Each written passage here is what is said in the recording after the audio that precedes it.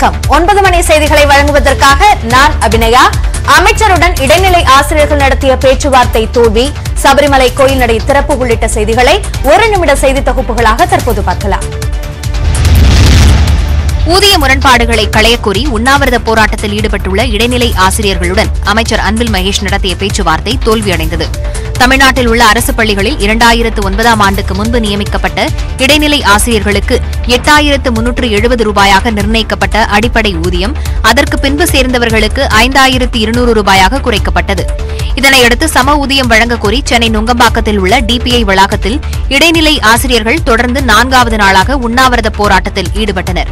இதில் நூற்றுக்கும் மேற்பட்டோர் மயக்கமடைந்தனர். இதனையடுத்து இடைநிலை ஆசிரியர்களுடன் அமைச்சர் அன்பில் மகேஷ் நடத்திய பேச்சுவார்த்தை தோல்வியடைந்தது.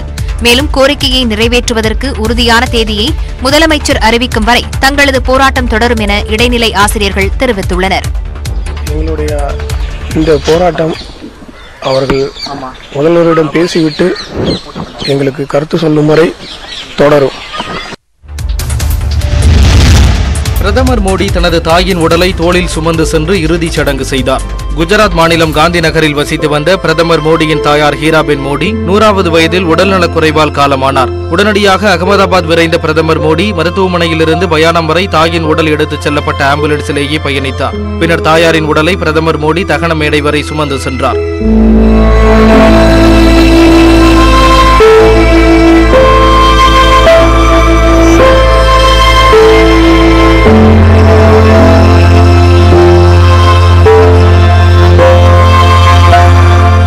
ஹைதராபாத் காந்தி நகரில் உள்ள மயானத்தில் ஹீராபென்னின் உடலுக்கு இறுதி சடங்குகள் செய்யப்பட்டன.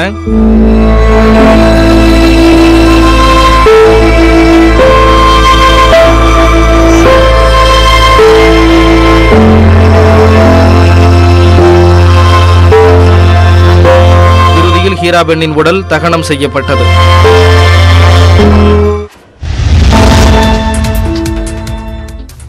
பிரதமர் மோடியின் தாயார் மறைந்த நிலையில் அரசு நிகழ்ச்சிகளை ரத்து செய்துவிட்டு சற்று ஓய்விடுங்கள் என பிரதமர் மோடிக்கு மேற்குவங்க முதலமைச்சர் மம்தா பானர்ஜி நெகிழ்ச்சியுடன் ஆறுதல் கூறினார். பிரதமர் மோடியின் தாயார் ஹீராபென் மோடி வயது மூப்பு மற்றும் உடல்நலக் குறைவு காரணமாக காலமானார். இதனையடுத்து குஜராத் மாநிலம் அகமதாபாத் சென்ற பிரதமர் மோடி தனது தாயாரின் உடலை சுமந்து சென்று தகனம் செய்தார்.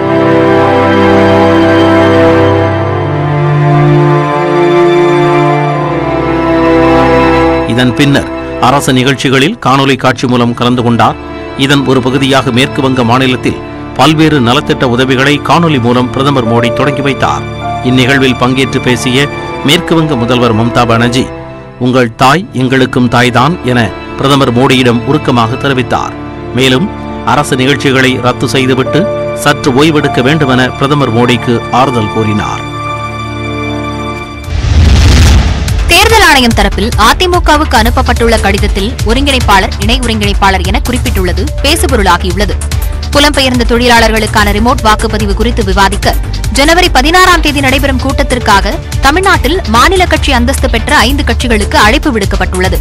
அதில் அதிமுகவுக்கு அனுப்பிய கடிதத்தில் இரட்டை தலைமை இருப்பதாக குறிப்பிடப்பட்டுள்ளது. அண்மையில் ஒரே நாடு ஒரே தேர்தல் ஆலோசனை குறித்து மத்திய சட்ட ஆணையம் எழுதிய கடிதத்தில் பொதுச் செயலாளர் எனவும் ஜி டுவெண்டி மாநாடு குறித்த கூட்டத்திற்கான அழைப்பு கடிதத்தில் இடைக்கால பொதுச் செயலாளர் எடப்பாடி பழனிசாமி எனவும் குறிப்பிடப்பட்டிருந்த நிலையில் தேர்தல் ஆணையம் இரட்டை தலைமையை முன்னிறுத்தியிருப்பது குறிப்பிடத்தக்கது.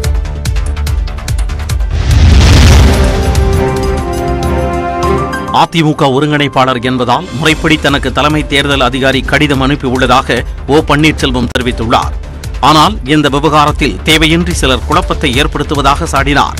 முறைப்படியாக இந்திய தேர்தல் ஆணையம் முறையாக ஒவ்வொரு கடிதத்திலும் ஒருங்கிணைப்பாளர் ஓ பன்னீர்செல்வம் என்றுதான் குறிப்பிடப்பட்டு அன்றிலிருந்து இன்று வரை அவர்கள் ஏற்றுக்கொண்டுதான் கழக அமைப்பு ரீதியான தேர்தலை அவர்கள் நடத்த சொல்லி கிளைக்கழகத்திலிருந்து பேரூராட்சி நகராட்சி மாநகராட்சி இப்படி பல்வேறு கட்ட தேர்தல்களை நாங்கள் நடத்தி முடித்திருக்கிறோம். அதே நேரத்தில் மாநில தலைமை தேர்தல் அதிகாரியின் கடிதம் குறித்து சட்ட வல்லுநர்களுடன் ஆலோசனை மேற்கொண்டு அடுத்த கட்ட நடவடிக்கை எடுக்கப்படும் என்று அதிமுக முன்னாள் அமைச்சர் ஜெயக்குமார் தெரிவித்துள்ளார். எங்களை பொறுத்தவரை சரி எங்கள் கட்சி கொடி சின்னம் அதே போல் எங்களுடைய ஒற்றுமை எல்லாம் வந்து அந்த நடப்படிகளுடைய தலைமை என்று எனக்கு சிறப்பாக இயங்கிட்டு இருக்கு. அதனால் மேற்கொண்டு அந்த கடிதத்தின் மேலே என்ன நடவடிக்கை எடுக்கப்படும் என்பது குறித்து என்ன மாதிரி நடவடிக்கை சட்ட வல்லுநர்களை நம்முடைய கட்சியை பொறுத்தவரை முடிவு மேலும் யாரோ ஒருவரின் வீட்டிற்கு உரிமையாளர் என ஓபிஎஸ் கூறி வருவதாகவும் ஜெயக்குமார் விமர்சித்தார். கைரேகை வேலை செய்யவில்லை என்றாலும் பதிவேட்டில் கையொப்பம் பெற்று ஆயிரம் ரூபாயை பெற்றுக் கொள்ளலாம் என தெரிவிக்கப்பட்டுள்ளது. உணவுப் பொருள் வழங்கல் மற்றும் நுகர்வோர் பாதுகாப்புத்துறை வெளியிட்டுள்ள வழிகாட்டு நெறிமுறையில் பொங்கல் பரிசை அனைத்து குடும்ப அட்டைதாரர்களுக்கும் விநியோகம் செய்து முடிக்க வேண்டிய முழு பொறுப்பும் மாவட்ட ஆட்சித் தலைவர்களையே சாரும் என தெரிவித்துள்ளது. பொங்கல் பரிசை விநியோகிக்கும் வகையில் நியாய விலை கடைகளுக்கு வரும் பதிமூன்றாம் தேதி வேலை நாள் என அறிவிக்கப்பட்டுள்ளது. அரிசி சர்க்கரை கரும்பு ஆகியவை முழு தரத்துடன் இருப்பது உறுதி செய்யப்பட வேண்டும் எனவும் தொழில்நுட்ப இடையூறுகளால் கைரேகை சரிபார்ப்பு பணி மேற்கொள்ள முடியாத நேரங்களில் பதிவேட்டில் ஒப்பம் பெற்று பொங்கல் பரிசு தொகுப்பை வழங்கலாம் எனவும் தெரிவிக்கப்பட்டுள்ளது. மகரவிளக்கு பூஜையொட்டி சபரிமலை ஐயப்பன் கோயிலில் நடை திறக்கப்பட்டது. மண்டல பூஜைக்காக சபரிமலை ஐயப்பன் கோயில் நடை நவம்பர் பதினாறாம் தேதி திறக்கப்பட்ட நிலையில் கடந்த இருபத்தி ஏழாம் தேதி மீண்டும் அடைக்கப்பட்டது. இந்த நிலையில் வரும் ஜனவரி பதினான்காம் தேதி மகரவிளக்கு பூஜையும் மகர ஜோதி தரிசனமும் நடைபெற உள்ளது அதற்காக சபரிமலை ஐயப்பன் கோயில் நடை வெள்ளிக்கிழமை மாலை ஐந்து மணிக்கு மீண்டும் திறக்கப்பட்டது.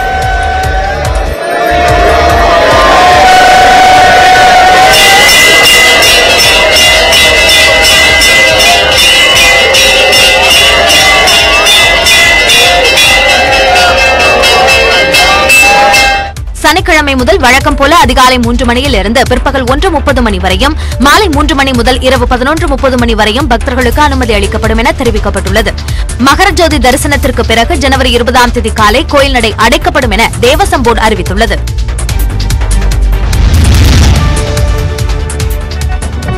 மகளிர் உதவி மையம் குறித்து விழிப்புணர்வை ஏற்படுத்தும் வகையில் சென்னை மெரினா கடற்கரையில் அமைக்கப்பட்ட விழிப்புணர்வு மணல் சிற்பத்தை முதலமைச்சர் மு க ஸ்டாலின் பார்வையிட்டார்.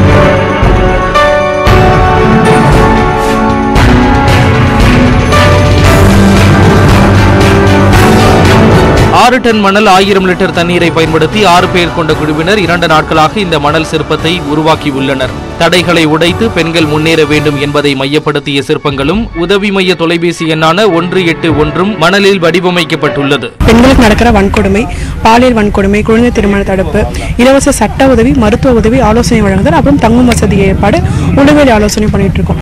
ஆலோசனை மையத்திற்கு அழைப்பவர்களுக்கு நம்பிக்கை அளிப்பதே தங்களின் முதல் பணி என்கின்றனர் ஆலோசகர்கள். நாங்க இருக்கோம் நீங்க வாங்க அப்படின்னு சொல்றதுக்கு தான் உங்களுக்கு வராது வரவும் விட மாட்டோம் ஆபத்து அப்படி வந்துச்சுன்னா நாங்க இருக்கோம் உங்க கூடவே தான் வரோம். நாங்க உங்களை வந்து சேஃபான ஒரு இடத்துக்கு கொண்டு போய் விட்டுருவோம் அப்படின்றது. குடும்பத்திடம் நண்பர்களிடம் பகிர்ந்து கொள்ள முடியாத விஷயங்களையும் ஒன்று எட்டு ஒன்று எண்ணுக்கு அழைத்து கூறி தீர்வை பெறலாம் என ஆலோசகர்கள் நம்பிக்கை அளிக்கின்றனர்.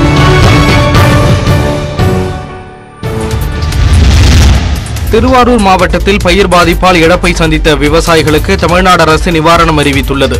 திருவாரூர் பயிர் சேதம் தொடர்பாக மாவட்ட வேளாண் துறை அதிகாரிகள் மற்றும் வருவாய்த்துறை அதிகாரிகள் கணக்கெடுப்பு நடத்தினர். இந்த கணக்கெடுப்பில் பதிமூன்றாயிரத்து முன்னூற்று இருபத்தைந்து ஏக்கர் நிலம் பாதிக்கப்பட்டுள்ளதாக தெரிவிக்கப்பட்டுள்ளது. இதையடுத்து ஒரு ஹெக்டேருக்கு பதிமூன்றாயிரத்து ஐநூறு ரூபாய் வீதம் நிவாரணம் வழங்கப்படும் என்று தமிழக அரசு அறிவித்துள்ளது. மொத்தமாக ஏழு கோடியே ஒரு லட்சம் ரூபாய் நிவாரண நிதியை தமிழ்நாடு அரசு ஒதுக்கியுள்ளது. இதேபோல கனமழையால் பாதிக்கப்பட்ட சம்பா தாளடி பயிர்களுக்கும் நிவாரணம் வழங்க வேண்டும் என விவசாயிகள் கோரிக்கை விடுத்துள்ளனர். இப்போ கணக்கு சம்பாவுக்கும் கணக்கு எடுத்திருக்காங்க. பாதிப்புன்னு நாங்கள் சொல்லி கணக்கு எடுத்திருக்காங்க. அதுக்கு நிவாரணம் வழங்கல. அரசு உடனடியாக முதலமைச்சர் குருவைக்கு நிவாரணம் வழங்கினது போல இதையும் பரிசீலனை பண்ணி நிவாரணம் வழங்குவார்னு நம்பிக்கை வைக்கிறோம். குறுவை நெற்பயிர் பாதிப்புக்கு நிவாரணம் வழங்கியது மகிழ்ச்சி அளிப்பதாக விவசாயிகள் தெரிவித்தனர். நாடாளுமன்ற முன்னாள் உறுப்பினர் மஸ்தான் கொலை வழக்கில் அவரது சகோதரரின் மருமகன் உட்பட ஐந்து பேரை காவல்துறையினர் கைது செய்திருக்கின்றனர். கடந்த இருபத்தி இரண்டாம் தேதி சென்னை திருச்சி தேசிய நெடுஞ்சாலையில் சென்று கொண்டிருந்த போது மர்மமான முறையில் உயிரிழந்தார். இதுகுறித்து மஸ்தானின் சகோதரர் மருமகன் இம்ரானிடம் போலீசார் தொடர்ந்து தீவிர விசாரணை நடத்தியுள்ளனர். மஸ்தானிடம் இம்ரான் பல லட்சம் ரூபாய் பணம் கடனாக வாங்கியதும் இது தொடர்பாக இருவருக்கும் இடையே வாக்குவாதம் ஏற்பட்டதும் விசாரணையில் தெரியவந்தது. இம்ரானின் செல்போனை ஆய்வு செய்தபோது கொலை செய்ய திட்டம் தீட்டி நான்கு பேர் கொண்ட கும்பலிடம் அவர் பேசியது தெரியவந்தது. அவர்களிடம் நடத்திய விசாரணையில் மஸ்தானை காரில் வரவழைத்து இருவர் அவரது கைகளை பிடித்துக் கொண்டு மற்றொருவர் மஸ்தானின் முகத்தையும் வாயையும் மூடி கொலை செய்தது உறுதி செய்யப்பட்டது. இதனையடுத்து மஸ்தானின் சகோதரர் மருமகன் இம்ரான் கார் ஓட்டுநர் உட்பட ஐந்து பேரை போலீசார் கைது செய்தனர்.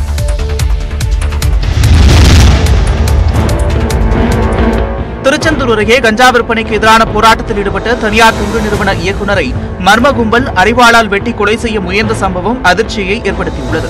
கஞ்சாவுக்கு எதிராக குரல் கொடுத்த பாலகுமரேசனின் பால் பண்ணைக்கு தீ வைத்த மர்ம கும்பல் அவரது உணவகத்திற்குள் நுழைந்து குமரேசனை சரமாரியாக அறிவாளால் விட்டார்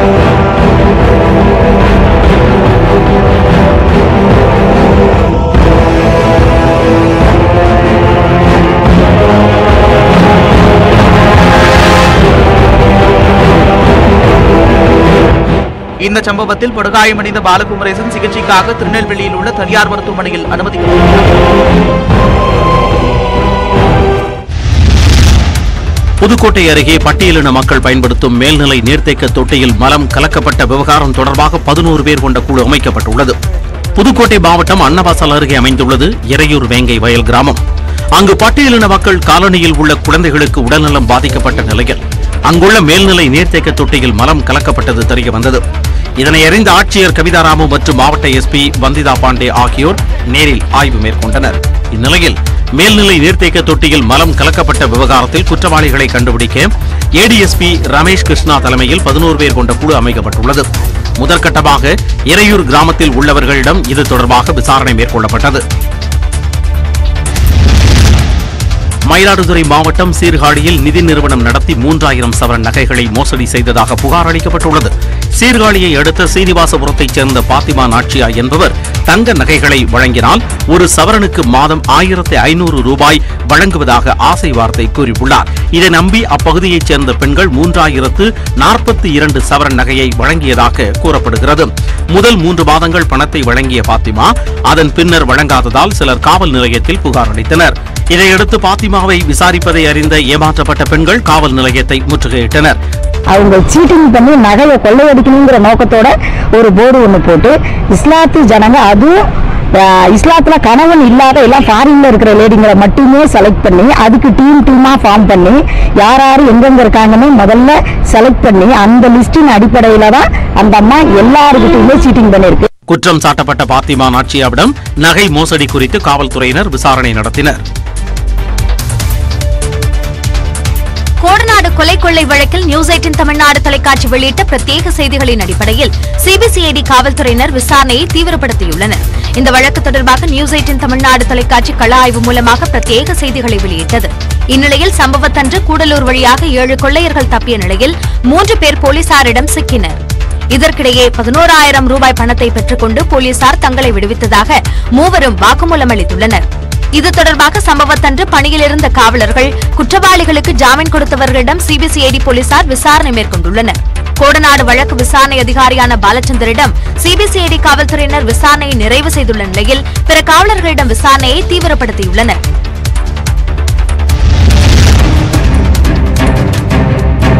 ஐபிஎஸ் அதிகாரிகள் இருபது பேரை பணியிட மாற்றம் செய்து தமிழ்நாடு அரசு உத்தரவிட்டுள்ளது. சென்னை சிவில் சப்ளை டிஜிபியாக இருந்த ஆபாஷ்குமார் ஐபிஎஸ் தீயணைப்பு மற்றும் மீட்புத் துறையின் டிஜிபியாக நியமனம் செய்யப்பட்டுள்ளார். சிவில் பாதுகாப்பு மற்றும் ஹோம்கார்ட் டிஜிபியாக பிரஜ் கிஷோர் ரவி நியமிக்கப்பட்டுள்ளார். தலைமையக ஏடிஜிபியாக உள்ள ஜி வெங்கட்ராமனுக்கு கூடுதலாக காவல்துறை நிர்வாக பொறுப்பு வழங்கப்பட்டுள்ளது. சென்னை டிஜிபி அலுவலக ஐஜியாக டி செந்தில்குமாரும் பொருளாதார குற்றப்பிரிவு ஐஜியாக ஆசியமாலும் சமூக நீதி மற்றும் மனித உரிமைகள் ஐஜியாக பிரபாகரனும் கடலோர பாதுகாப்பு குழும டிஐஜியாக ஏ கயல்விழியும் நியமிக்கப்பட்டுள்ளனர். சென்னையில் காவல்துறை தொழில்நுட்ப சேவைகள் பிரிவு டிஐஜியாக ஆர் சின்னசாமியை தமிழ்நாடு அரசு நியமனம் செய்துள்ளது. இடைவேளைக்கு பிறகு ஒரு நிமிட செய்தி தொகுப்புகளை தொடர்ந்து பார்க்கலாம்.